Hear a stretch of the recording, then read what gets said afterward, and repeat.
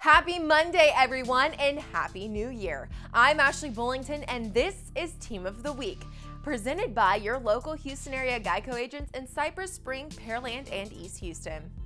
For five seasons, the Marshall Buffaloes have been on a mission to win a state championship.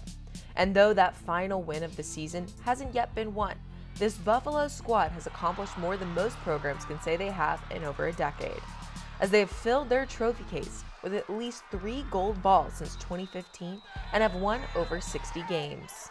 This is a new team this year. You know, last year, last two years, we were fortunate to play for a state championship, and you know, this year we, we had a lot of kids graduate the last year, a lot of very good football players. But you know, we knew we had a, a, a lot of good kids uh, who were hungry, who wanted to have that same success. And, you know, we knew this was a, a, different team, so we had new challenges, but nobody thought the pandemic would be one of those challenges. But, yeah, again, I just commend the players like Kenny and the rest of the guys, and especially the seniors who, you know, led this team again on a daily basis to make sure we stayed healthy, to make sure we were able to stay on the field because we were fortunate we didn't lose any games this year.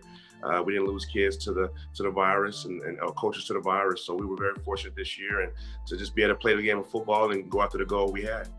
Uh, it's been it's been very eventful, especially with the pandemic going on. Uh, we haven't been able, we weren't able to just do our normal just summer workout routine and stuff like that. So it was really up to the kids to like advocate for themselves and work out on their own for when the season came. Then when the season came, it was a lot of it was a lot of just like what Coach Will said, uh, following protocols and wearing our masks and stuff like that, so, so kids can just stay on the field and and perform. After the 2020 graduation took a bulk of their team, it was not going to stop the squad from having a dominating season.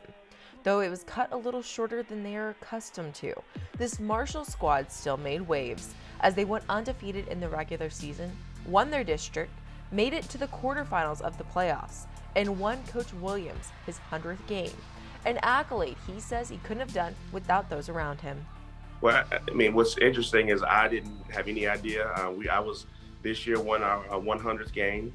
And that's what I, I, will never say that I won my 100th game because there's so many people who are involved in that success. There's so many people who have helped me come, helped us get to this point. And uh, after our first playoff game, we uh, we beat uh, Port Neches Grove, and, and uh, after the game, you know, my wife was walking up with a, a 100 shirt on, and my coaches have shirts on. I'm looking around like, what y'all doing? And I didn't realize it was my, my 100th, our 100th victory at Marshall High School, and I'm very proud of that.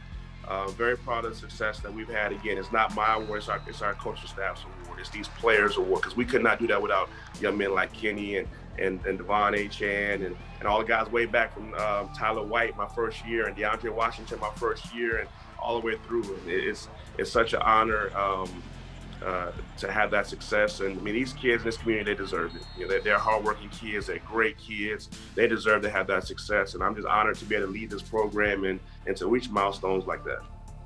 Uh, honestly, it's it's really it's a lot like a brotherhood. I mean, there we have we get new kids that, that would, new transfers that would come in every year. We'd welcome them in.